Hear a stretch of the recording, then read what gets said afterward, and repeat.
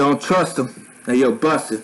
Man, the Illuminati got my body in an itty bitty box, see? But I'm about to break out Harry Houdini like a genie in a bottle. Dreams of fucking models in a Tahoe, eating tacos. I don't know about you, but I've been through a lot, fool. I mean, damn, felony charges for what I breathed in.